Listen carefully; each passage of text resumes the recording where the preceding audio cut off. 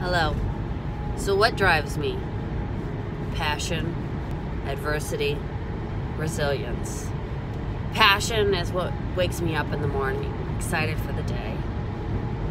Adversity, and people tell me I can't do something, that gets to me, motivates me to work harder.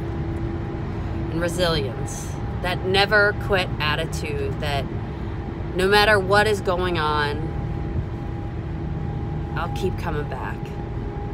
I'll keep fighting for what I believe in. That's why at 36, 37 next month, holy crap, I'm still in this crazy world of professional wrestling, this crazy entertainment world. Because you gotta have resilience to be here. There's a lot of great, talented people out there but some of them can't get hit and come back for more. And I've done that so many times. The band aid has been ripped off, the scar tissue is there, and it drives me every day.